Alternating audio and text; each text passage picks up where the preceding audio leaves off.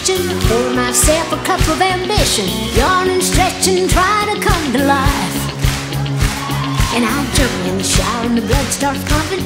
Out on the streets, the traffic starts jumping with folks like me on the job from nine to five. Yeah, Working nine to five.